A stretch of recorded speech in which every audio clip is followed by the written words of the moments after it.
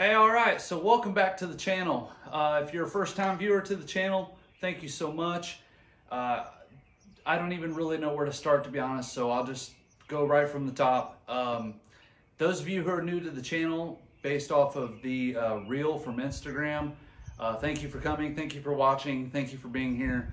Uh, those of you that do not know or don't really follow me on the social media thing, I had a video, um, an Instagram reel that I don't know. I guess you could say it went viral. Um, I got 30 over 30,000 views in like 48 hours, which was, whew, I don't even know why it did it. Um, it just blew up on social media. So if you're here because of that, thank you very much. I appreciate checking me out, checking the car out, and looking what we're doing here on uh, Gem City Welding. So why are you here today?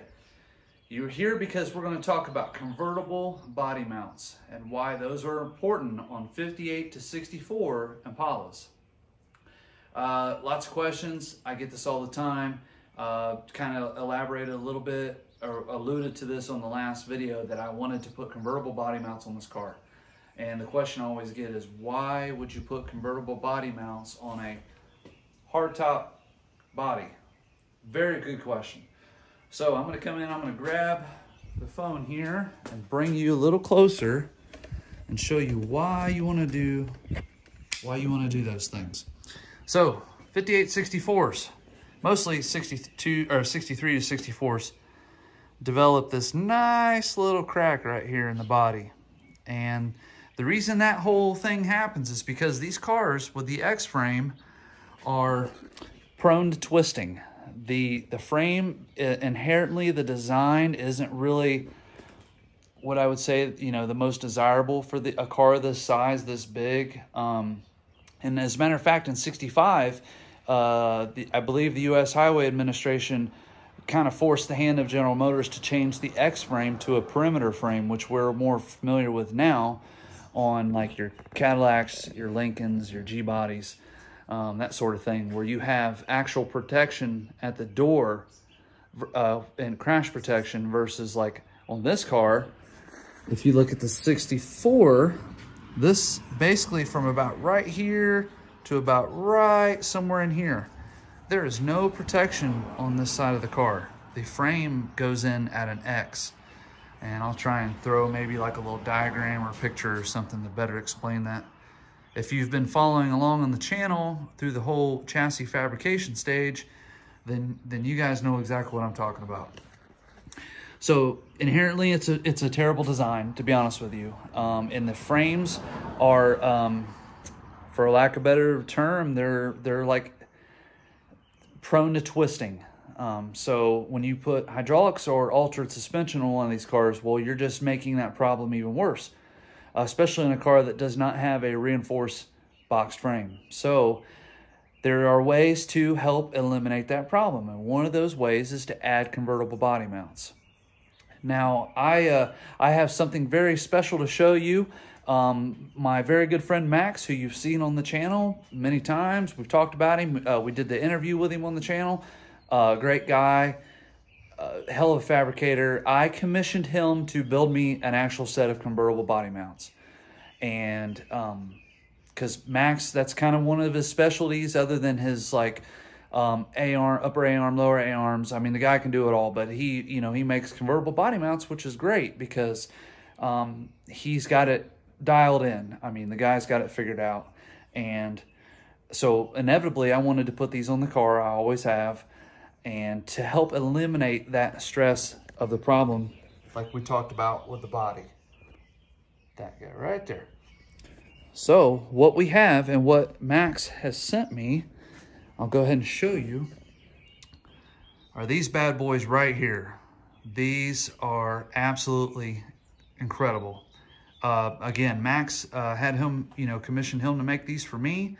Uh, he produces these for sale on his uh, you can get a hold of him through social media, you know, shoot him a message and explain to him what you're doing and he'll get you hooked up. But Max does a heck of a job with these. Um, they do work with a standard body bushing.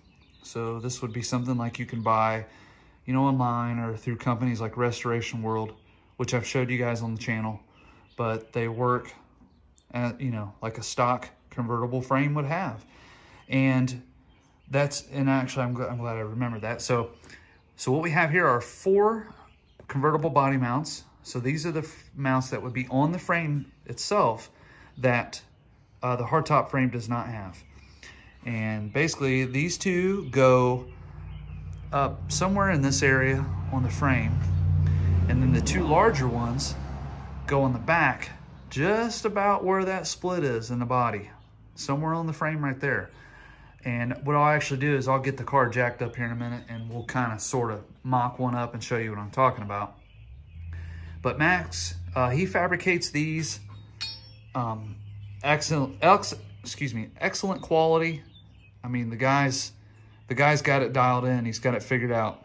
Just absolute beautiful piece of artwork here. So I'm honored and proud to have these on the frame. Um, it's going to help stiffen up the body considerably and take out some of that flex from the frame. Um, now, you know, there's there's going to be two sides to every story, two sides to every coin, depending on how you look at it. There are guys who will absolutely swear that this is not necessary. And then the other side will say, yeah, it's probably the best thing you could do to the car. Um, I would probably fall on the latter of that argument. Um, I feel like it's I feel like it's a great investment to make on a car, uh, specifically one of these cars. And at the end of the day, um, you know, Max, I, I believe he sells these for 250 on his website. That's that's fully fully done, um, sent to you. For me, the insurance that it provides with the body, because I'm not doing like a wild paint job on this car. At least I don't have the intention on doing that. I just want kind of like a factory OG paint job. Um, taking some of that flex out of the body is going to help with that considerably. And for 250 bucks, if you ask me, it's worth every penny. Um, so I, I, I, see, you know, that's the side that I see. Um, do you have to have these on a hydraulic car? No, you do not. But you do take the risk of inevitably twisting the, the, the chassis and the body. So just food for thought, something to consider. Um, but again, I'm honored to have these. I'm proud to put these on the car. It's going to be awesome. So I will get you guys set up. Let me get this thing jacked up, and then we'll kind of sort of like mock one up on the frame and show you what I'm talking about. So here we go.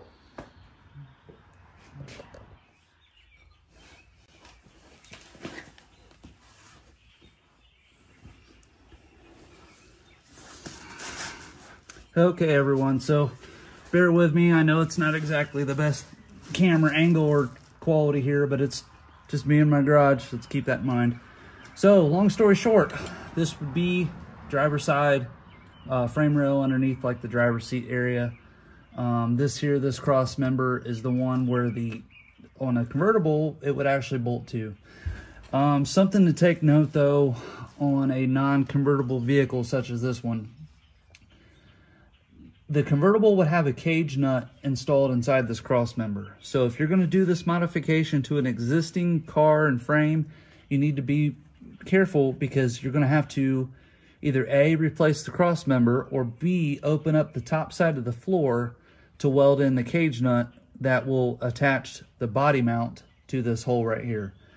Um, of course, this does not have that, but I'm replacing this entire floor uh, this cross member is going to be replaced. So that, you know, you're going to see that on a future video. I, I don't know when that's going to be, so just bear with me. But basically the way this thing works is we have your standard body bushing, okay? Your, this is the front body mount that uh, I had made for this car. All you would have to do is install the body bushing itself, put this on the frame, now, of course, these can be trimmed a little bit and that sort of thing.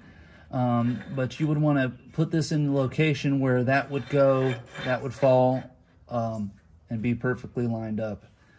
Uh, you know, in a perfect world, if we had the cage nut inside that, um, inside of this cross member, I would be able to tack, you know, tack these corners of the of the body mount, and it's just as simple as welding them on, running a bolt through it, and bolting it down. It's it's pretty straightforward. Um, and keep in mind your your Canadian uh, frames, your American frame, non-convertible will not have these. It's it's the convertibles that came factory with them, okay? So we're just basically replicating what GM did, you know, 60 years ago. So let me move to the back side of the car, get the camera set back up, and I'll show you what the backside in theory would be too. So hang tight.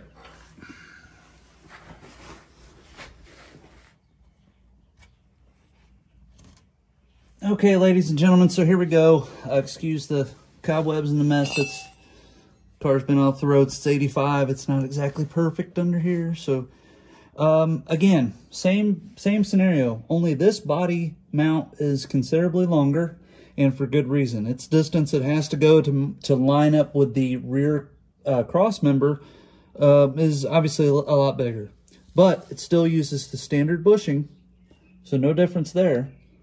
Um, and there is some wiggle room and play in this bushing, which they're they're all they all should be. Nothing, you know, there's tolerances that the factory allotted for these vehicles and that sort of thing. So let me get this to where I can show you on the frame how that's going to go.